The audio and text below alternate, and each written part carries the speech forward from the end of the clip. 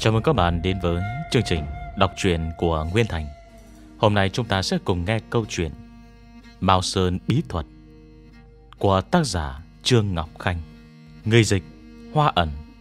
Quyển 4 Truyền thuyết bất tử.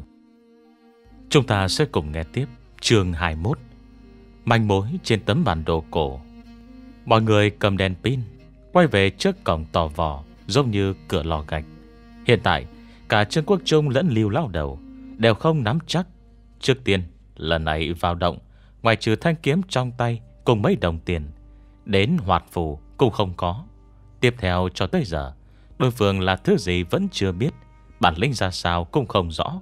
Hơn nữa, Mặc dù Mao Sơn Thuật Đã hình thành nguyên lý sơ khai Từ thời chiến quốc, Được gọi là Tam Mao Thuật, Nhưng trải qua bao năm tháng thăng trầm, Rất nhiều thuật pháp cùng lý luận đã bị thất truyền đào thải.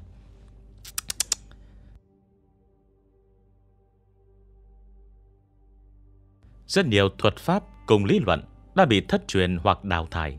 Truyền lại đến ngày nay chẳng còn là bao. Huông hồ cuối thời chiến quốc, học thuật về âm dương cũng giống như những lý luận học thuật khác. Từng xuất hiện cục diện trăm hoa đua nở. Ngoài trừ tam mao thuật, còn sản sinh ra rất nhiều trường phái học thuật khác. Trong đó phần lớn đã bị xuống dốc, thất truyền hoặc gộp lại với nhau. Trước mắt, không biết vị đại thúc chủ trì xây dựng, trích trì thuộc môn phái nào. Hiện tại đối mặt công trình sử dụng 10 vạn tù binh để xây dựng này. Mọi người cũng chỉ biết nhắm mắt dò đường. Đi bước nào hay bước nấy mà thôi. Sư huynh, để cảm thấy có chút kỳ quái. Trương Quốc Trung đi đến trước cổng tò vò, Dường như đã hiểu ra điều gì. Vật bị Huynh dùng ngón chọc dưới hố, Làm thế nào lọt ra ngoài? À có lẽ Do dòng nước thông nhau. Nghe Trương Quốc Trung nói vậy Liều lao đầu cũng ngẩn người, Vừa rồi chỉ lo liều mạng, Không hề nghĩ đến điểm này. Thế lại càng không đúng. Trương Quốc Trung nhíu chặt chân mày, Cho dù thông nhau nhưng nước trong hố đều đã cạn. Dứt lời trường Quốc trùng đi qua cổng tò vò, Dùng đèn pin chiếu vào những hố nước Đã sớm khô cạn. Huynh xem, Hố nào cũng vậy, Mà dù cho thông ra bên ngoài, Cũng không thể di chuyển nhanh như vậy. Huống chi, Từ đây ra đó, Ít nhân cũng hơn trăm mét. Huynh chỉ chọc một cái, Sao có thể gây động tĩnh lớn đến thế? Chú thích, Mao Sơn Thuật cho rằng Nước chủ âm. Tuy có tác dụng truyền âm dẫn dương, Nhưng khả năng truyền dương khí rất kém. Theo thuật ngữ vật lý Thì chính là điện trở rất lớn. Nói cách khác, Dương khí trong nước Sẽ theo khoảng cách gia tăng Mà yếu bớt. Trương trưởng môn nói có lý. Nghe Trương Quốc Trung phân tích, Tần qua bỗng nhiên mở miệng. Tôi nghĩ Có lẽ chúng ta đã bỏ sót vấn đề. Vật mà Lưu Tiên Sinh dùng tay chọc vì sao lại ra được bên ngoài? Ông thông suốt quá nhỉ? Nghe Tần Quan nói, Liêu lao đầu cũng hơi bất ngờ. Đúng vậy, Tôi chọc bên này, Thế nào mà bên kia lại xảy ra chuyện? Sư Sư huynh. Trong lúc nói chuyện với Liêu lao đầu, Trương Quốc Trung đã đi tới Bên chiếc lồng sắt đầu tiên Do eo sơn kéo lên. Nơi này Hình như cũng đã xảy ra chuyện Sao? Sao có thể như vậy? Liễu lao đầu vội vàng chạy đến trước mặt Trương Quốc Trung Vừa rồi, Trên mặt đất không có nước. Giọng Trương Quốc Trung có chút run rẩy. Dưới ánh đèn pin, Chỉ thấy một vũng nước đen xì Bên mép hố, Cùng một hàng dấu chân ướt nhẹp, Kéo dài ra đến tận cửa động. Ngoài ra, Hai bên dấu chân còn có vệt nước, Giống như thứ này khoác áo choàng ướt đi ra. Mau, Kiểm tra bên dưới dây xích. Liêu lao đầu nuốt một ngụm nước miếng. Khốn kiếp, Nó biết leo lên sao? Eo Sơn nhổ hai miếng nước bọt vào tay. Hai chân xoạc rộng, Hô lớn một tiếng, Dồn sức kéo dây xích. Có điều lần này Ve một cái, Đã nhấc quạt thắt lưng, Phát hiện đầu xích thay đổi. Đối với nó, chỉ có một cây nắp, Còn lồng sắt bên dưới Đã không thấy đâu. Chẳng lẽ Nó bám dây xích trèo lên sao? Mắt nhìn đầu sợi xích Nối với nắp lồng bẹp rúm Liều lao đầu không khỏi cảm thấy ớn lạnh. Nan lồng dày chừng một tấc, Vừa chắc lại vừa nặng, Xem chừng được đúc bằng gang, Có thể khiến nắp lồng biến dạng thành như vậy, Chắc phải có sức mạnh ngàn cân. Điền quỷ ở Ba Sơn Cũng có thể treo dây thừng. Đối với oán nghiệt kiểu này, Trương Quốc Trung không lấy gì làm lạ. Hình như chỉ có một con chạy thoát. Lúc này, Eo Sơn lại kéo một sợi xích khác lên. Cảm giác thực sự rất nặng. Xem ra Vận rơi nước ngoài kia Không liên quan gì đến chúng ta. Còn có thứ khác. Liều lao đầu đứng dậy, Bắt đầu lần tìm theo dấu chân, Đi ra ngoài động. Chẳng lẽ Chính là cây xác chân chuồng kia? Trương Quốc Trung theo liều lao đầu Cẩn thận quan sát một lượt. Có phải xác chết hay không, Chưa thể xác định. Lúc này Liều lao đầu đã ra khỏi động, Phát hiện dấu chân kéo dài đến nơi sâu nhất. Quốc Trung Để chém hắn một nhát, Có lẽ đã bị lậu dương. Lậu dương?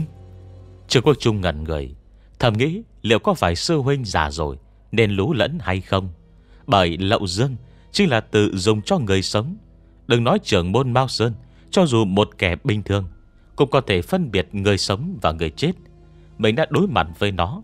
Tuy rơi nước tầm nhìn bị hạn chế, Nhưng chỉ riêng việc Bị đâm không chảy máu Còn có thể là người sống sao? Sư huynh, Để thấy không phải nó bị lậu dương, Mà chính chúng ta Bị lậu dương khi bơi vào đây ấy. Hình như không đơn giản chỉ là lậu dương. Liêu lao đầu nói Ta đã sợ qua thứ kia. Toàn thân mặc giáp sắt Sắt không thông âm dương Chút dương khí từ hơi thở của chúng ta Căn bản không thể làm được gì. Nhất định trong động Có cơ quan hay trận pháp gì đó phong bế dương khí. Có điều hiện tại đã bị phá hỏng. Xem ra Chính việc tốt của tên kia. Huỳnh muốn nói Hắn là vật sống. Trực bức trùng trao mày. Ê, Khó mà nói. Đợi lát nữa nếu gặp phải, Cùng nhau từ từ nghiên cứu. Nghe liều lao đầu nói vậy Trương Quốc Trung thật sự khóc không gian nước mắt. Giờ là hoàn cảnh nào Mà còn có thời gian từ từ nghiên cứu sao? Đi thêm mấy chục mét Dâu chân ướt trên mặt đất dần biến mất. Bất quá trong khoảng cách này Dâu chân chỉ đi thẳng, Không rẽ ngang. Cho nên mọi người tiếp tục tiến sâu vào hang động, Qua gần 200 mét. Trong phạm vi chiếu sáng của đèn pin xuất hiện Một thông đạo bằng đá thật lớn. Không sai. Nhìn lên vách đá, Tần qua thầm hít sâu một hơi. Trương trưởng môn, Tôi đã biết Kẻ phá hủy trận pháp nơi này Là ai rồi. Là ai? Trương Quốc Trung sững người. Vương Tứ Chiếu. Tần qua cất giọng quả quyết. Tấm bản đồ trong kết sắt, Nhà Vương Tứ Chiếu. Chính là cây động này. Ông có chắc không? Liêu lao đầu, cũng không khỏi ngẩn ngơ. Tôi vẫn luôn âm thầm Đếm số cột ở đây. Tần qua dùng đèn pin, Chiếu vào những cột đá khổng lồ phía sau. Tổng cộng có 36 chiếc, Không hơn không kém, Trừ phi là trùng hợp, Bằng không chỉ có một giải thích, Chính là Vương Tứ Chiếu từng đến nơi này. Ông đã xác định niên đại của tấm bản đồ đó chưa? Trương Quốc Trung hỏi. Cái này, Tần qua cũng ngẩn người. Lúc trước chỉ lo tìm chuyên gia phân tích bản vẽ, Xem rốt cuộc là kiến trúc gì, Bỏ qua việc xác định niên đại bản đồ. Chưa phân tích, Nếu với kinh nghiệm của tôi, Chắc sẽ không sai đâu. Công nghệ dệt lụa này Chỉ có vào thời Tây Hán, Cho nên bản đồ có thể Là vật từ thời Tây Hán. Vương Tứ Chiếu đã tới đây. Liêu lao đầu lầm bầm Tiếp tục đi về phía trước. Hỏi vậy, Chẳng lẽ cha mẹ liêu thiếu gia Là do hắn giết à? Nếu Vương Tứ Chiếu Thật sự giết bọn họ, Nơi này là hoang sơn giã lĩnh, Có cần thiết phải làm giả hiện trường vậy không? Trương Quốc Trung không tin cho lắm, Nhưng lại không thể giải thích vì sao Bản đồ nơi này lại nằm trong kết bảo hiểm của Vương Tứ Chiếu. Xem ra quay về, Chúng ta phải nghĩ cách điều tra thêm về Vương Tứ Chiếu. Liệu đúng Vương Tứ Chiếu giết bọn họ? Vậy Liêu thiếu ra Điều tra đới kim xong, Làm cái gì? Liêu lao đầu nghĩ đến người uống trà cùng Lương Tiểu Lan trên tấm ảnh. Có lẽ Người ta chỉ đơn giản vụng trộm với nhau mà thôi. Trong mắt Trương Quốc Trung, Liêu Nhật Viễn Rốt cuộc vẫn là một đứa trẻ, Nhiều hơn Trương Nghị Thành chưa đến 10 tuổi. Tuy thám tử cậu ta thuê, Cung cấp ảnh chụp, Nhưng nội tình vẫn chỉ là phỏng đoán. Quay về, Nói với Liêu Thiếu Gia, Hung thủ là Vương Tứ Chiếu, Tên này đã bị chúng ta xử lý. À đúng rồi, Tôi nghĩ đến một vấn đề. Elson bỗng dưng mở miệng. Sao cơ? Liều lao đầu tỏ vẻ kinh nghiệm Đối với những lời nói chen ngang của Elson Cậu Sơn, Lần này lại mang thuốc nổ theo phải không? À không không Không phải đặt thuốc nổ. Elson không nghe ra ý đùa bỡn của Lưu Lao Đầu. Vừa rồi giáo sư Tần có nói, Thứ đó là từ thời nhà Hán. Đúng, Thế thì sao? Liều lao đầu khen nhướng chân mày. Nhưng vừa rồi trên bia đá có ghi, Cây động này xây vào thời nhà Tân Ừ Không sai, Cậu nói tiếp đi. Triều Tân với Triều Hán Cây nào sớm hơn? Elson nghiêm túc hỏi. Lời vừa ra khỏi miệng, Đừng nói Trương Quốc Trung Và Lưu Lao Đầu, Ngay tần qua thiếu chút nữa Cũng rớt hàm. Đương nhiên, Triều Tần có trước, Triều Hán có sau. Tần qua lau mồ hôi trên chán Thầm nghĩ dù sao, Elson cũng từng là lính trinh sát, Sao trình độ văn hóa lại lầm khẩm vậy chứ?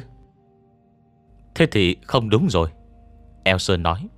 Theo lý thuyết, Hang động này giống như hầm bí mật, Nhưng người Triều Hán Lại có thể vẽ ra bản đồ.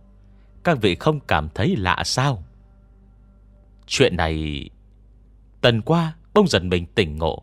Không ngờ Eo Sơn Tuy hơi yếu kém về kiến thức lịch sử, Nhưng dù sao Cũng xuất thần từ lính trinh sát, Tư duy logic thực không phải hạng soàng Đúng vậy, Sao chúng ta lại bỏ qua điểm này nhỉ? Lẽ nào, Thời nhà Hán Đã có người từng xuống đây? Liêu lao đầu, cũng không khỏi giận mình. Rất có thể, Tần qua cũng bắt đầu hưng phấn. Tấm bản đồ kia, có lẽ do người từng xuống dưới đây vẽ lại. Bởi trên bản vẽ Không đánh dấu tế đàn dưới nước. Rất có thể người đó Cũng không tìm ra. Nếu vậy, Chẳng lẽ hang động này Còn có lối ra khác? Trong lòng Trương Quốc Trung Có chút kích động, Xem chừng có thể ra ngoài Mà không cần ác đấu Với mấy xác sống trong lồng sắt. Chú thích, Lậu dương, Muốn ám chỉ dương khí trên cơ thể con người, Bị do gì ra ngoài. Mạo Sơn Thuật cho rằng Oán nghiệt sẽ không tập kích Vật có chứa âm khí. Cho nên các bậc tiền bối phái Mao Sơn Đã phân bình ra rất nhiều phương pháp Phong bế dương khí Vì như mang theo mông thạch, Một loại vật liệu thuần âm trên người. Không thì nín thở, Một số oán nghiệt có đạo hạnh thấp Sẽ không thể phát hiện ra. Trong ví dụ này Hồ hấp thuộc về phạm chủ Lậu Dương. Tại một số nơi trận pháp bị giải trừ, Lậu Dương có thể kích phát uy lực trận pháp thêm lần nữa. Bát tiên cục ở Ba Sơn chính là một ví dụ. Hết chú thích, hết chương 21. Chúng ta cùng nghe tiếp chương 22. Thiên môn. Người dịch hoa ẩn. Đừng à, vui mừng quá sớm Liều lao đầu tuy phấn khởi nhưng vẫn dùng lý trí để suy xét. Cho dù thời nhà Hán thật sự Có người từng xuống đây, Nhưng thứ nhất, Điên đại quá xa. Không biết lôi ra đó còn tồn tại hay không. Thứ hai, Cho dù vẫn còn, Khẳng định Cùng được đào tại ngóc ngách xó xỉnh nào đó. Hang động lớn như vậy, Biết đi đâu mà tìm đây. Còn nữa, Cho dù có thể tìm ra, Vạn nhất công giống như đạo động lúc xuống dưới, Dựng đứng, Sâu đến hai mấy mét làm thế nào leo lên đây? Tần ra Ông câu trước bản đồ cổ, Câu sau bản đồ cổ. Ông nghĩ mình là chuyên gia sao? Nhắc đến lĩnh vực này Liêu lao đầu không nghĩ tần qua, Có thể hơn mình được. Tranh cổ thư họa từng xem nhiều vô số, Sao có tâm tư ghi nhớ hết cơ chứ? Còn nhớ một chút, Tần qua tỏ vẻ tin chắc 10 phần. Tấm bản đồ này mình đang nghiên cứu qua Tuy không tìm ra manh mối, Nhưng chi tiết thì nhớ rất rõ. Nếu tôi không nhầm, Phía trước hẳn còn có một thông đạo, Chiếu theo tỷ lệ trên bản đồ, Đại khái khoảng 50 mét. Tiếp theo rất có thể là cầu thang hoặc là sườn dốc. Đi tiếp sẽ là một đại sảnh. Điểm xuất phát trên bản đồ chính là nơi đó. Cho nên, rất có thể Người triều Hán xuống dưới đây Từ đại sảnh đấy. Đơn giản vậy sao? Liêu lao đầu tỏ ý nghi ngờ. Tự mình chạy lên phía trước, Phát hiện đích thực có một cái cổng tối đen như mực, Cao rộng hơn cổng tò vò ban nãy rất nhiều. Thiết trúc lộ, Kéo đến tận cửa, Xem ra có thể an toàn tiến vào. Không sai, Hẳn là nơi này. Tần qua nối bước liều lao đầu, Bước qua cửa động. Từ đây, đi thẳng về phía trước. Còn chưa dứt lời, Tần qua lập tức sững người. Từ đây đi về phía trước. Liều lao đầu, Cầm đèn pin chiếu sáng Diêu cợt quay đầu nhìn tần qua. Tôi nghĩ, Có lẽ chúng ta Vẫn chưa đến thông đạo. Giọng nói tần qua tựa hồ có chút kích động. Dưới ánh sáng đèn pin, Hình dạng trong đây Giống như một cái loa đảo ngược. Càng đi, không gian càng rộng. Cách cổng 20 mét, Có một vách đá. Phía dưới hình như có một thạch đài hình vuông, Chưa cao đến 1 mét, Dài khoảng 2 mét. Ngoài ra, không có lối đi nào khác. Cẩn thận một chút, Coi chừng có cơ quan đấy. Liều lao đầu cẩn thận tiến sâu vào bên trong. Mỗi bước đều dùng chân dò xét một lượt, Đề phòng ám tiễn hay cảm bẫy, Bởi càng đi càng rộng. Tần qua, liền men theo vách bên kia của thông đạo. Cùng học theo liều lao đầu, Không ngừng dò chân sở tường. Ban đầu không có gì, Nhưng dò dẫm sở soạn thêm mấy mét Bỗng nhiên cảm thấy Sự gồ ghề trên vách Không phải do thiên nhiên tạo thành. Theo kinh nghiệm bản thân, Đây có thể là bích họa Hoặc hoa văn điều khắc. Vẫn có tâm tư nghiên cứu sao? Liều lao đầu liếc mắt nhìn tần qua, Sau đó tiếp tục tiến về phía trước. Tần qua dừng lại tại chỗ Ban đầu dùng tay Phổi lớp bụi đất bám trên bề mặt vách đá. Kỳ lạ! Tần quan nhíu chặt mày. Lúc này Trường Quốc Trung cũng đi tới Cất tiếng hỏi. Tần tiên sinh làm sao thế? Ừ, Chỗ này có đất. Là cố ý chát lên. Hơn nữa Còn cách đây chưa lâu. Tần quan nói. Vách đá ở đây Không có bất kỳ hoa văn hay bích họa nào. Duy nhất nơi này có. Nét khác khá nông. Có vẻ gấp gáp vội vàng. Hơn nữa Mặt trên còn bị phủ một lớp đất, Màu sắc tương tự vách đá.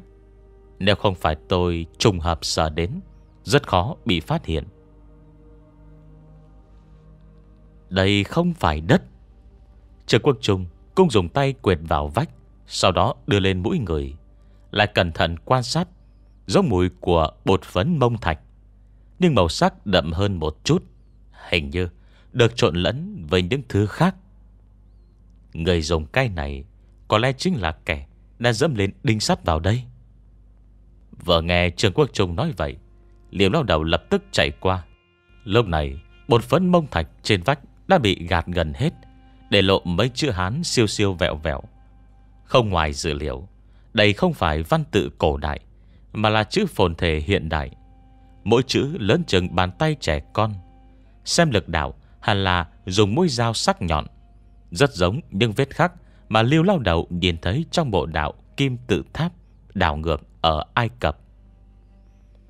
Trích chỉ hữu hiểm trở nhân khứ, Dược phi thần tích Chiêu hy kỳ.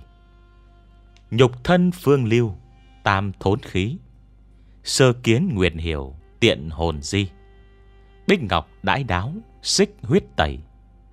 Thanh nham thủy giãn, hữu hồng nê. Quật mộ tam xích Bổn vô ý. Thăng thiên hữu đạo, Tự nhiên ly. Đọc xong bài thơ, Mọi người không hẹn Mà cùng toát mồ hôi lạnh, Xem ý tứ. Bốn câu đầu còn tương đối dễ dàng lý giải. Đại khái là, Trích chỉ có nguy hiểm, Tiến vào sẽ không ra được. Tác giả bài thơ Vì tò mò đến đây. Đáng tiếc sau khi vào mới phát hiện Chẳng có gì hết. Ngược lại, thân mang trọng thương. Tự biết không thể sống qua đêm nay. Bốn câu sau của bài thơ Có vẻ thần bí khó lường, Khiến người khác không sao hiểu nổi. Trong đó hai câu, Bích ngọc đai đáo, Xích huyết tẩy, Thanh nham thủy giản, hữu hồng đê.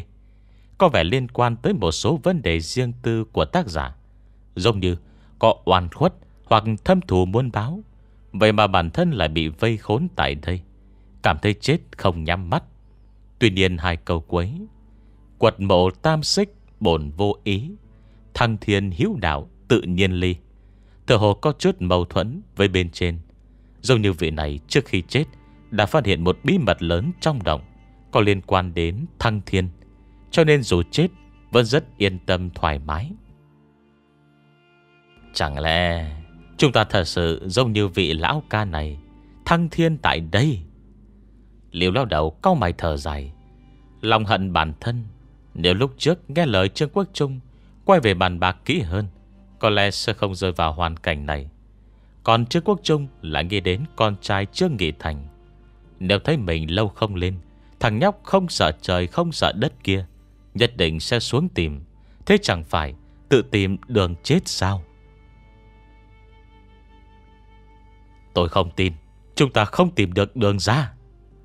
Tần qua trước sau vẫn rất bình tĩnh.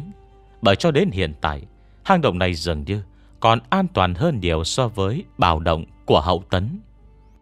Theo hình vẽ trên tấm bản đồ cổ kia, Lộ tuyến nơi này Cũng không quá phức tạp. Tác giả bản vẽ thời Hán Đã an toàn thoát thân, Còn ghi chép lại chi tiết kết cấu nơi này cơ mà. Dứt lời Tần qua không không tiếp tục sờ tường dò chân nữa, Cất bước đi đến bên thạch đài. Các vị qua đây xem, Nơi này hẳn có lối ra ngoài. Tuy bài thơ viết trên tường rất bi trắng Nhưng lời tần qua nói Không phải không có đạo lý, Cho nên mọi người ít nhiều Vẫn nuôi chút hy vọng. Vừa nghe tần qua gọi, Tất cả đều kéo nhau qua đó. Thành đài được gộp thành Từ bốn khối đá hình vuông. Ở giữa có một cây hố tối om Thông xuống bên dưới. Tuy thạch đài dài khoảng 2 mét, Nhưng thông đạo lại không rộng lắm, Cùng lắm chỉ khoảng 1 mét vuông. Trong thông đạo có bậc thang Nhưng rất dốc. Dùng đèn pin chiếu xuống, Chỉ thấy mặt nước lấp lánh. Trên thạch đài còn có một cái lỗ Đã bị lấp kín. Kích thước không lớn lắm, Từ góc độ mà phán đoán, Xem ra trước khi bị lấp, Đây là nơi dòng nước chảy vào bên trong thông đạo. Phía trên cây lỗ có khắc hai chữ triện nhỏ, Thiên môn. Thiên môn, Cổng trời. Liêu lao đầu, Nhìn chăm chăm hai chữ này, Giống như đang suy nghĩ điều gì. Câu cuối bài thơ viết, Thăng thiên hiếu đạo Tự nhiên ly. Thăng thiên mà hắn nói, Có liên quan gì đến thiên môn này không? Xuống rồi sẽ biết. Trương Quốc Trung rút kiếm, Chuẩn bị treo xuống thông đạo. Hoàn đã. Liêu lo đầu một tay giữ chặt Trương Quốc Trung. Cây xác trần chuồng Với thứ trong lòng sắt Hàn cũng đi ra từ chỗ này. Dứt lời liều lao đầu rút khẩu súng Đeo bên hông tần qua, Nói, Để ta xuống trước. Trương Quốc Trung Cũng nghe nói qua uy lực của đạn xích tiêu, Cho nên thấy liều lao đầu muốn xung phong, Cũng không ra tay ngăn cản, Cầm kiếm theo sư huynh xuống động. Nước trong động không giống ở tế đàn Mới xuống chưa được mấy mét, Đã ngập gần đến eo. Cùng may Dưới nước mực nước chỉ có như vậy. Bên dưới thông đạo rộng hơn So với lối vào không ít, Rộng khoảng 2 mét, Cho nên di chuyển không quá khó khăn. Sau khi xuống dưới, Trương Quốc Trung phát hiện Hai bên sườn động Có nhiều lỗ thùng đen xì, Kỳ thường gần bằng hang chuột, Dùng đèn pin chiếu đi vào, Sâu không thấy đáy. Người xưa đúng là có năng lực. Sư huynh coi. Mấy lỗ thùng này Làm sao mà đào được nhỉ? Tại đề không biết đó thôi. Liệu lao đầu nói, Ở Ai Cập, Người ta còn có hệ thống sông ngòi dưới lòng sa mạc nữa kìa. Để bảo họ làm sao mà đào? Trương trưởng môn, Tôi muốn thỉnh giáo cậu một vấn đề. Tần qua vẫn luôn im lặng Theo sau Trương Quốc Trung. Này bông lên tiếng, Tôi còn nghiên cứu về lịch sử hình thành và phát triển của tôn giáo. Đạo giáo chú ý thăng thiên, Cũng chính là thành tiên. Cậu cảm thấy Con người thật sự có thể thành tiên sao? Tần tiên sinh, Trên thế giới này Thật sự không có thần tiên đâu. Trực quốc trùng quay đầu cười nói, Vì sao? Tần Hòa không thể tin vào tai mình. Mục sư cha xứ phương Tây Đều tin vào sự tồn tại của Thượng Đế. Vậy mà trưởng môn phái Mao Sơn Như Trương Quốc Trung Lại nói ra câu này, Khiến Tần Qua cảm thấy bất ngờ. Giết người trong thành phố Sẽ có cảnh sát truy bắt. Giết người ở chỗ này, Ai bắt đây? Trương Quốc Trung nói. Đương nhiên chẳng ai bắt. Tần Qua đáp. Đây là ảnh hưởng của tôn giáo. Trương Quốc Trung cười. Đạo cơ đốc dạy mọi người phải có lòng yêu thương. Sau khi chết, Có thể lên thiên đường. Nếu không sẽ xuống địa ngục. Phật giáo dạy mọi người Làm nhiều việc thiện. Sau khi chết, có thể đến Tây Phương cực lạc, Hoặc kiếp sau sẽ được thiện báo. Đạo giáo cũng vậy. Bất kỳ tôn giáo nào Cũng khuyên con người hướng thiện. Cho dù là nơi rừng sâu núi hoang, Cũng sẽ có một đôi mắt Đang theo dõi. Thần tiên thực ra Là một loại tín niệm trong lòng mỗi người mà thôi. Trương Trường Môn, Cậu chẳng những là người trong đạo môn, Mà còn là một nhà triết học thực thụ ấy. Nghe Trương Quốc Trung nói xong, Tần qua không khỏi gật gù. Có điều, Trong truyền thuyết có rất nhiều đạo sĩ thăng thiên. Trong lịch sử Cũng không thiếu những nhân vật như vậy. Tần tiên sinh, Thực ra thăng thiên trong đạo giáo Chỉ là cảnh giới về tư tưởng, Giống như thành Phật trong Phật giáo. Trương Quốc Trung nói, Tài sản quý giá nhất Các bậc tiền nhân để lại cho chúng ta Không phải pháp khí trí bảo, Mà là tư tưởng. Thích Ca Mâu Ni Sở dĩ được hậu nhân sùng bái Là vì ảnh hưởng tư tưởng của Ngài Qua các thế hệ tín đồ. Đạo giáo cũng vậy, Thủy tổ đạo môn Còn được biết tới với danh phong Thái thượng lao Quân, Thực ra chính là Lão Tử, Lý Nhĩ, Thời chiến quốc. Bản thân ông ấy Vốn không phải đạo sĩ, Cũng chưa từng phát minh ra đạo thuật. Đạo thuật truyền lại sau này, Hết thầy đều là những kinh nghiệm Và trí tuệ của cao nhân Nhiều thế hệ đúc kết mà thành. Mà tư tưởng Dùng đạo thuật tạo phúc lê dân Chính là của lão quân. Trương trưởng môn, Như lời cậu nói Thằng thiền trong bài thơ kia Cũng không phải là thật sao? Tần tiên sinh Tiên với yêu, Chỉ cách nhau một làn danh. Bản lĩnh đều rất lớn, Mấu chốt ở chỗ, Hắn dùng bản lĩnh này Làm chuyện tốt hay chuyện xấu. Triều Quốc Trung giải thích, Tần tiên sinh, Có người cầu thân Là vì thành kính tín niệm, Nhưng có người không hiểu tôn giáo, Cũng thành kính bái lạy. Tất cả đều vì tư tâm, Hy vọng có người phù hộ mình. Thậm chí xã hội đen trước khi cướp ngân hàng Cô biết cầu bái thần linh. Tần tiên sinh, Ông cảm thấy Thần tiên sẽ phù hộ loại người đó sao? Cho dù thành công làm chuyện xấu, Chả lẽ cũng là do thần tiên Ở phù hộ à? Cậu muốn nói, Người viết thơ Có khả năng đã thành yêu. Lời tần qua vừa ra khỏi miệng Nhưng người còn lại bất giác dùng mình. Đền điều lao đầu cũng cảm thấy bồn chồn. Quốc trung để đừng tự hù dọa chính mình nữa. Ta thấy không chừng Chỉ là bút tích ai đó để lại Trong lúc tàu hỏa nhập ma. Nếu thật sự muốn thành tiên, Cũng không thể ở nơi như vậy phải không? Hàn Biệt thiết trúc trận Chắc chắn cũng hiểu được điều này. Còn chưa hết cầu Cây đó không xa, Ông vang lên tiếng động thật lớn, Giống như có tảng đá bự rơi xuống nước. Liều lao đầu lập tức giơ sung lục. Chưa quá vài giây, Từng đợt sóng nước lăn tăn di chuyển về phía mọi người. Là ai? Giọng liều lao đầu có chút run dày Trong thông đạo này, toàn nước, Vạn nhất có thứ gì, Cho dù là cự khuyết kiếm, Cũng không thể phát uy lực. Hết chương 22 Mời các bạn nghe tiếp chương 23 Tranh đấu quyết liệt. Nơi phát ra tiếng động cách chỗ bọn họ khoảng 20 mét. Do mọi chuyện diễn ra quá bất ngờ, Lại khá xa, Chưa kể mặt nước phản quang, Cho nên chẳng ai thấy do rút cuộc Là thứ gì rơi xuống, Chỉ cảm thấy động tĩnh không hề nhỏ. Trừ Quốc Trung thậm chí Còn vụt đầu xuống nước, Nhìn cho kỹ, Sợ có thứ gì đang ẩn mình dưới đáy. Đúng lúc này, Một màn không tưởng đã xảy ra. Chỉ nghe ra một tiếng, Vật rơi xuống bàn nãy. Bông nhảy vọt lên khỏi mặt nước. Tốc độ cực nhanh, Chẳng khác gì cá heo phi thần trên biển. Có điều không thấy rơi. Cái quái gì thế?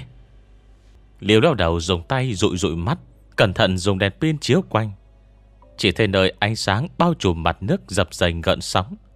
Toàn bộ thông đạo trở nên yên lặng dị thường. Vừa rồi, Ngoài trừ tiếng vật kia rơi xuống nước, Trước sau đều không có động tĩnh gì. Liêu đau đầu Liếc mắt nhìn Tần qua. Tần ra, Địa hình tiếp theo, Ông có biết không? Chắc vẫn là thông đạo. Tần qua nói, Thông đạo dưới nước này Không chỉ có hơn 20 mét, Nhưng chiếu theo tỷ lệ trên bản đồ cổ, Từ vách đá Đến điểm xuất phát, Ít nhất phải vượt qua 50 mét, Thậm chí còn dài hơn. Nói cách khác, Sau khi chúng ta từ đây lên, Chắc còn 30 mét thông đạo phải đi. Sau 50 mét thông đạo Là nơi nào? Liếm lao đầu dừng bước, Không định tiếp tục đi về phía trước. Hẳn là đại sảnh. Tần qua tận lực nhớ lại. Nhưng trên bàn vẽ Có một vết sọc rất nhỏ, Không biết là cái gì. Giờ phút này, Tần qua cũng có chút hối hận. Sơ biết mình có thể may mắn xuống được địa công trên bản đồ, Đã sao chép một bản mang theo. Bên dưới không có gì. Đúng lúc này Trương Quốc Trung ngẩng đầu lên Hô một tiếng. Nhưng nước này có chút vấn đề. Ừ, Thứ kia đã sớm đi rồi. Nước thì có vấn đề gì chứ? Liễu đó đầu nói. Đi rồi. Trương Quốc Trung sừng sốt Đưa tay lau mặt Nhưng tai nghe ngóng nửa ngày Chẳng có động tĩnh gì hết. Nói vậy Không phải nhằm vào chúng ta mà tới sao?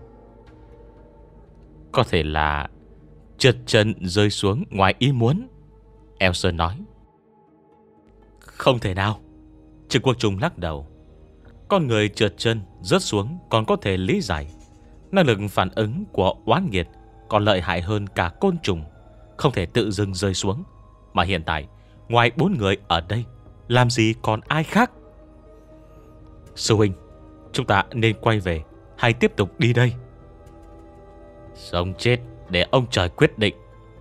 Liêm lao đầu bấm bụng cắn răng, Tay cầm chắc súng hỏi, Đúng rồi, Nước này rốt cuộc có vấn đề gì? Là màu sắc. Trường Quốc Trung đáp, Nước ở đây trong hơn so với bên ngoài rất nhiều. Có điều dưới đáy dường như Có thứ gì đo đỏ, Đã bị chúng ta quấy đục.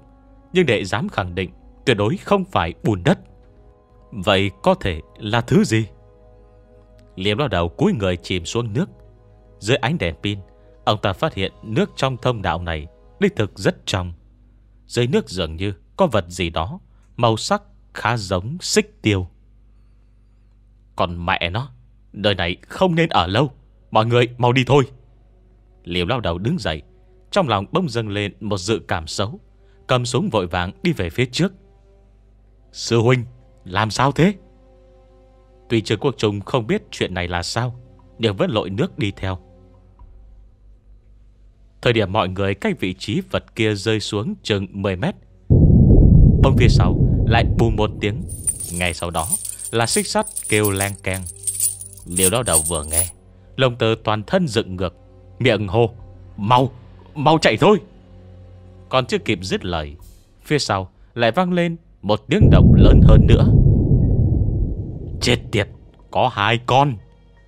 Liều lao đầu xoay người, Thân thể áp sát vách thông đạo, Dùng đèn pin chiếu quanh một lượt. Phát hiện phía sau, Có hai bóng đèn sừng sững, Đang nhanh chóng lao qua đây. Tiếng xích sắt va vào nhau len keng, Cùng với tiếng nước quậy ùm ùm Đủ khiến người nghe tê dại ra đầu. Liều lao đầu vội giơ súng, Ngắm ngay tổ lý huyệt của đối phương. Bắn đoàn đoàn hai phát. Elson cũng rút súng Vừa chạy vừa hướng phía sau mà bắn. Không bắn thì thôi Bắn xong liều lao đầu lại cảm thấy tuyệt vọng. Vốn tưởng dựa vào đạn xích tiêu Cùng với khẩu Browning 7,65 ly trong tay Elson Có thể giải quyết được đối phương. Ai rẻ Hai vị da da đen xì xì kia Giống như mình đồng ra sắt Đạn bắn vào chỉ thấy keng keng tué lửa Căn bản không thể xuyên thủng lớp da. Còn hai vị da da đen gì này? Sau khi ăn một loạt đạn, Tốc độ chẳng hề suy giảm, Ngược lại còn nhanh hơn. Quốc trung, Súng bắn không được, Mau dùng bảo bối. Trong lúc tình thế cấp bách Liều lao đầu Quang súng qua một bên. Nhanh tay rút thất tinh kiếm Giờ lên chắn trước người. Thời điểm liều lao đầu nổ súng, Vừa lúc Trương Quốc Trung Là người đầu tiên đi đến vị trí Vật thể kia rơi xuống. Phát hiện nơi này cũng không phải cuối thông nào. Nhìn về phía trước, Chỉ thấy sâu hùn hút, Không có điểm cuối. Nhìn lên phía trên, Là một giếng trời hình vuông, Tô đen như mực, Kích thước tương đương với thiên môn Mà bọn họ leo xuống. Rốt cuộc thông đến nơi nào Cũng không biết. Tuy không thấy cầu thang, Nhưng lại có một sợi dây thừng thân to bằng ngón út. Chất liệu nhìn qua, Không khác dây thừng leo núi của tần qua là bao. Xem ra, Kẻ đến trước chúng ta đã vào từ nơi này. Tần tiên sinh, Mọi người leo lên trước đi. Nghe liều lao đầu hô to, Trương Quốc Trung vội vọt ra phía sau eo sơn. Phát hiện Hai bóng đèn chỉ còn cách liêu lao đầu chưa đến 10 mét. Tần qua trận mắt, Nhìn thông đạo sâu hun hút, Không có điểm cuối.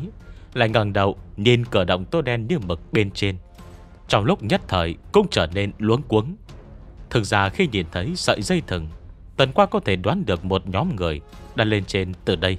Tuy nhiên, kết hợp phân tích với bài thơ trên vách động Ngoài thiên môn, Rất có thể nhóm người đó Sau khi leo lên đã thăng thiên. Chẳng lẽ lần này Buộc phải đi theo vết xe đổ Của vị thi nhân kia sao? Mau lên! Trương quốc trung rút cự khuyết, Cùng lưu lao đầu, Tạo thành rào chắn. Lúc này, Hai vị gia gia đen xỉ Đã xông đến trước mặt. Tần tiên sinh! Mau lên đi. Trương quốc trung cũng không có thời gian giải thích với tần qua. Vùng kiếm chém tới tấp. Cũng không biết Lớp giáp sắt trên người chúng Rốt cuộc dày bao nhiêu. Chỉ nghe keng một tiếng, Bàn tay Trương Quốc Trung lập tức tê dại. Mặc dù cự khuyết là bảo kiếm, Nhưng xem ra chẳng có mấy tác dụng. Đừng chém, Đâm. Liềm lao đầu tựa hồ đã nhìn ra vấn đề, Chém ngang lực gian trải qua lớn Và sắc nhọn khó phát huy hiệu lực. Nhưng nếu dùng mũi kiếm đâm vào Thì lại khác. Chỉ thấy hai tay liều lao đầu, Nắm chặt chuôi kiếm, Đâm thẳng vào khe hở trên lớp áo giáp. Thật tình kiếm đúng là danh bất hư truyền. Phập một tiếng, Hơn nửa thân kiếm đã căm sâu vào ngực giáp thi. Chiêu này thật sự dùng được. Sau khi lớp giáp bị đâm thùng Giáp thi lập tức đứng im bất động. Liều lao đầu có chút sừng sốt. Thầm nghi thứ này hùng hồ mạnh mẽ, Thế nào mới đâm một nhát, Đã giải quyết xong. Đang lúc chưa hết kinh ngạc, Giáp thì bông giờ tay quét ngang một đường. Cây tay sắt vừa cứng vừa nặng, Sượt qua đỉnh đầu ông ta. Nếu là ai đó cao một chút E đã bị gãy xương cổ, Chật xương sống, Trở thành bán thân bất toại. Bị tập kích bất ngờ liều đau đầu không khỏi dùng mình lạnh gáy. Loạn trọng lùi về phía sau, Kiếm cũng không kịp rút lại. Cảm giác gió lạnh Vẫn còn quanh quẩn trên da đầu. Tiêu rồi, kiếm của ta. Liều lao đầu nghiến răng trận mắt, Thầm than xui xẻo. Tần qua trông thấy cảnh tượng này, Bất chấp thăng thiên hay không thăng thiên, Vội vàng trèo lên vai Elson Bắt lấy dây thừng, Trèo lên giếng trời. Khỏi bên sợi dây này buông xuống từ đâu, Chiều dài vừa lúc lơ lửng ngang miệng giếng, Người bình thường căn bản không thể với tới. Tần tiên sinh mò ném dây thừng xuống dưới. Elson thấy Trương Quốc Trung Và Liêu lao đầu chật vật chống chọi, Còn mình giơ súng đảo qua lắc lại, Vẫn không dám bắn. Nhảy hai cái tưởng với được dây thừng, Nhưng do tay quá ướt, Cho dù bắt được dây thừng, Nhưng một lúc sau lại bị tuột mất. Tần qua bên trên cũng luống cuống, Dùng đèn pin chiếu khắp nơi, Phát hiện thì ra Mình đang ở trong không gian rộng lớn, Dây thừng kéo dài Tới tận sâu trong bóng tối. Không biết được cố định ở nơi nào. Chờ một chút Để tôi thả dây. Tần quá rút trùy thủ, Muốn cắt đứt dây thừng. Không ngờ loại dây leo núi chuyên dụng này Chắc chắn vô cùng, Cắt mãi không đứt Lần trước tại Ba Sơn, Trương Quốc Trung dùng long lân Cũng không cắt nổi dây thừng của tần qua, Cuối cùng phải dùng súng lục bắn đứt. Sao mấy người vẫn chưa leo lên? Trương Quốc Trung dùng kiếm chặn giáp thi, Thân thể ép sát vách động. Đã không còn đường lui. Bỗng nhiên, từ khe hở trong đống xiềng xích Trên người giáp thi Vươn ra một cây xúc tu, Ngọ nguậy uốn éo giống như lưỡi rắn. Dưới ánh đèn pin của Elson Có thể thấy sơ sơ hơn chục cái. Chết tiệt, Quái quỷ gì thế này? Tuy thanh kiếm trong tay Trương Quốc Trung Đã chặn lại thân của giáp thi, Nhưng phần lưỡi kiếm Lại hướng về phía cổ mình. Chỉ cần khẽ nhúc nhích, Cái đầu có thể sẽ chuyển nhà. Chỉ có thể trơ mắt, Nhìn giáp thi, Từng chút từng chút áp sát. Lúc này, Tình hình bên phía liều lao đầu Cũng không khá hơn là mấy. Y vào thân thể nhỏ con linh hoạt Liều lao đầu Tưởng có thể rút lại thất tinh kiếm trên người giáp thi. Có điều vị gia gia này, Sau khi bị thất tinh kiếm đâm, Dường như có chút không thoải mái, Hai tay của quạng không yên. Liều lao đầu vòng đi vòng lại mấy bận, Vẫn không có cơ hội ra tay. Nhìn Trương Quốc Trung, Bị thứ này dồn vào góc tường. Muốn xông tới hỗ trợ, Có điều vừa mới cất bước Bông cảm thấy hai chân Bị xích sắt quấn chặt. Liều lao đầu chưa kịp hiểu ra làm sao, Thân thể đã đổ ùm xuống nước, Vùng vẫy đứng dậy, Phát hiện trước mặt là một khối sắt đen xỉ Thân mình cách giáp thì Chưa đầy một thước. Trả kiếm cho ta! Liều lao đầu thấy có cơ hội, Vội vàng duỗi tay để rút thất tình kiếm. Tuy nhiên vừa nắm được phần chuôi Giáp thì bỗng giang hai cánh tay Ôm lấy liều lao đầu Chỉ nghe sụt một cái. Thật tình kiếm Cắm trước ngực giáp thì Đâm sâu vào trong. Phần chuôi ép lên người liều lao đầu Khiến ông ta vô cùng đau đớn. Cậu, à, cậu Sơn Đừng đứng ngây ra đó nữa Mau qua giúp tôi. Chưa dứt lời Liều lao đầu đã bị giáp thì ép sát vào vách đá Cũng giống như Trương Quốc Trung trơ mắt nhìn đám xúc tu từ từ đến gần mình. Gần giống cảnh tượng Bị nhân chủ ôm chặt ở Ai Cập lần trước. Cùng lúc đó, Phía trên giếng trời, Tần quan đang dùng trùy thủ cắt dây thừng. Bỗng nghe tiếng liều lao đầu kêu la, Sợi dây trong tay mới cắt được non nửa. Đúng rồi, Dùng súng. Trong lúc cấp bách, Tần quan luống cuống sở tay sở chân. Chẳng thấy gì hết Trần nhớ súng của mình đã bị liều lao đầu lấy mất. Cậu Sơn, Mau đem súng cho tôi. Tần qua, quay lại giếng trời. Thế nhưng giờ phút này Lại không thấy eo sơn bên dưới. Trong động chỉ có tiếng xiềng xích và vào nhau rầm rầm. Cùng ánh đèn pin lông tung hỗn loạn. Trương trưởng môn, Liêu tiên sinh, Cậu Sơn! Do giếng trời khá sâu, Tần qua căn bản không cách nào nhìn rõ Tình hình dưới động. Rốt cuộc, đã xảy ra chuyện gì?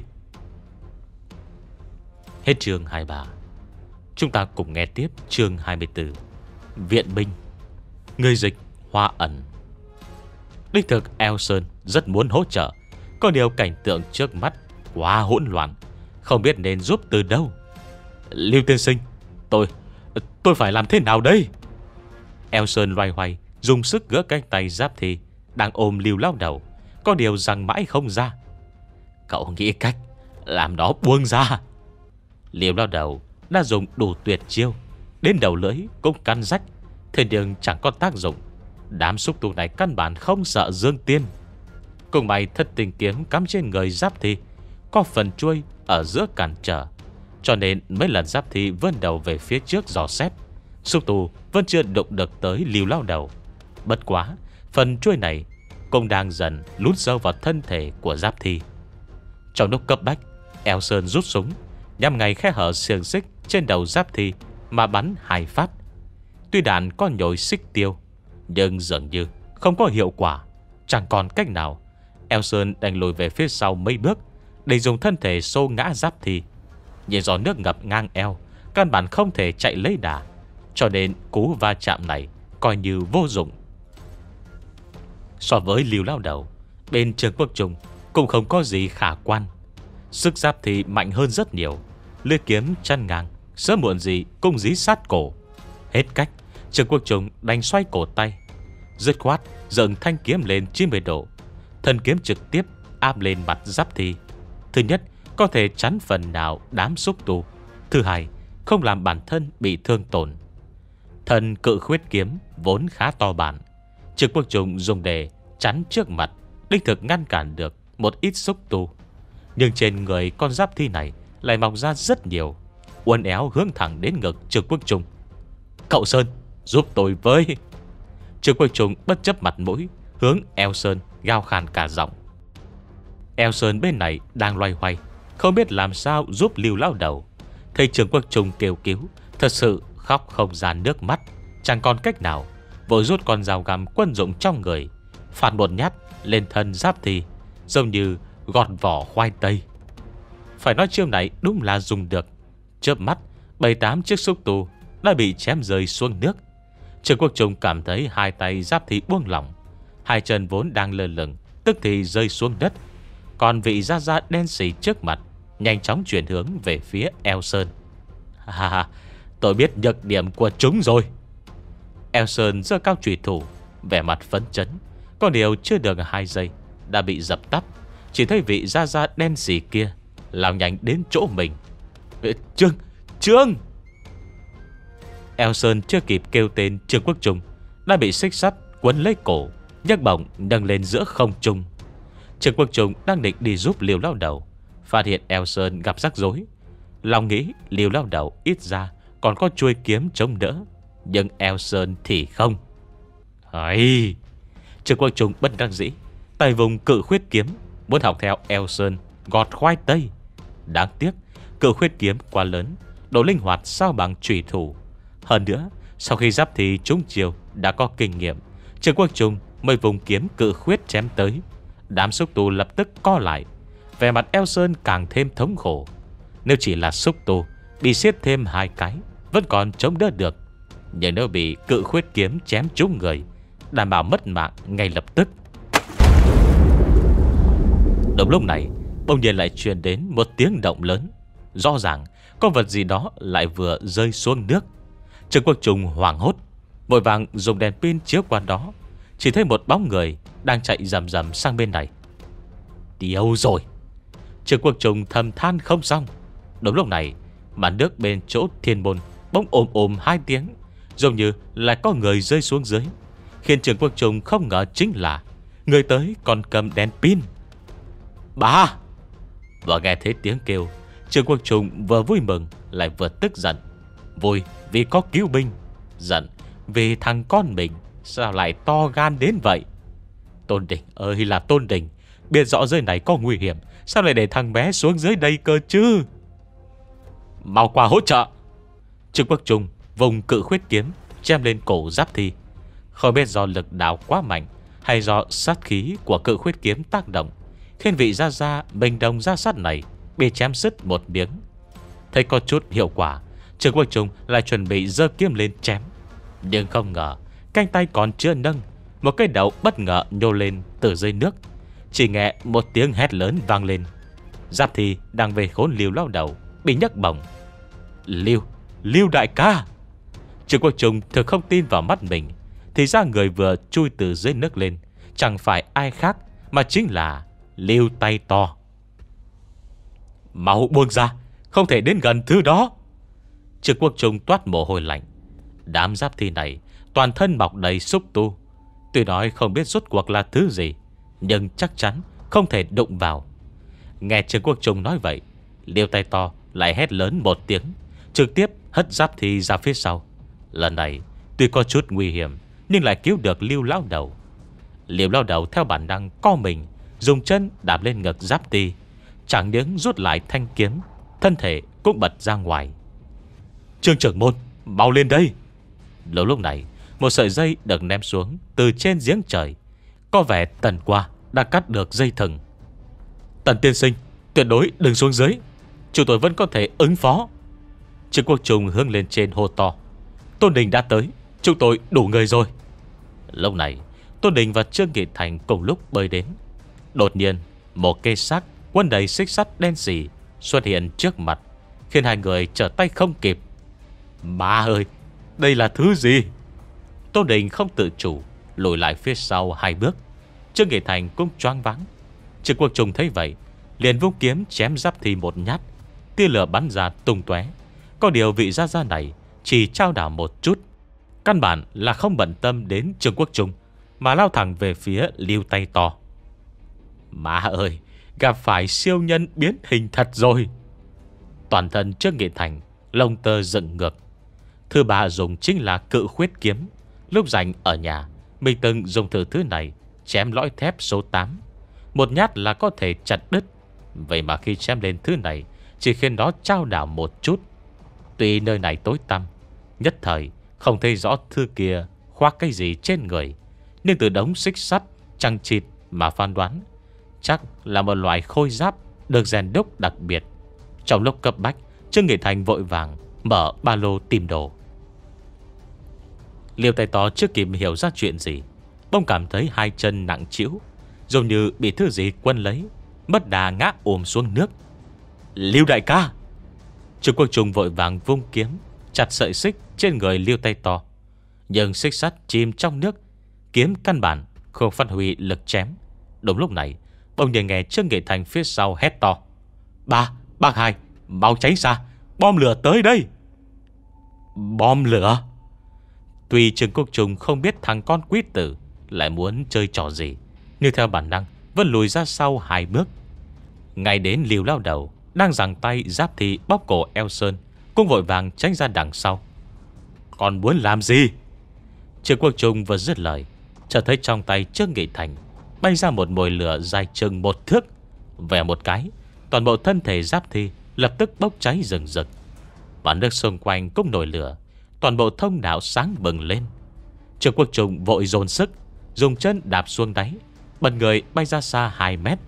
Lúc này, lưu tay to cũng ngồi lên khỏi mặt nước, Chỉ là vừa mới nhô đầu lên, liền phát hiện lửa cháy ngùn ngụt, Sợ quá, Lại vội vàng thụp xuống.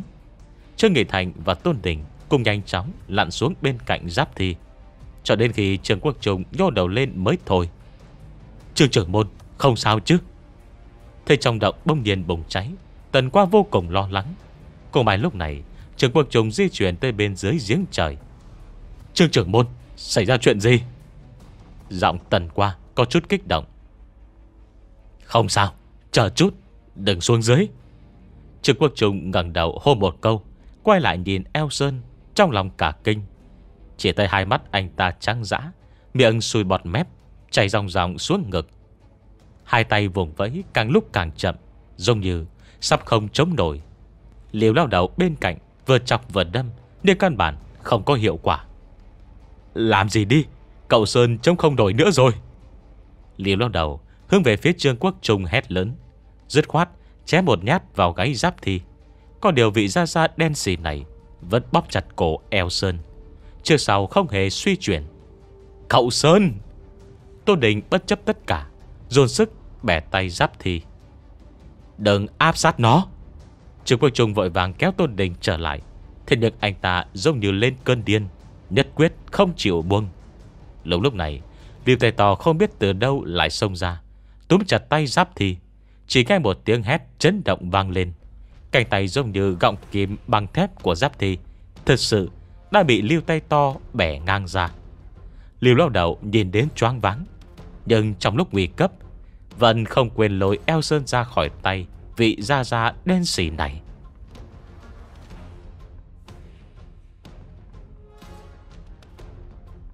Hết chương thứ 24 Cuộc chiến đang hồi rất là gay cấn, Nhưng rất tiếc Thời lượng của phần chuyện ngày hôm nay đã hết rồi. Chúng ta sẽ cùng đón nghe cuộc chiến này Vào kỳ sau nha. Đừng quên đăng ký kênh và bật thông báo Để được đón nghe sớm nhất câu chuyện này Trên kênh youtube MC Nguyễn Thành. Nếu thấy hay, hãy để lại bình luận Ở dưới video này nha. Và giúp Nguyễn Thành chia sẻ nó nhé. Xin chào và hẹn gặp lại.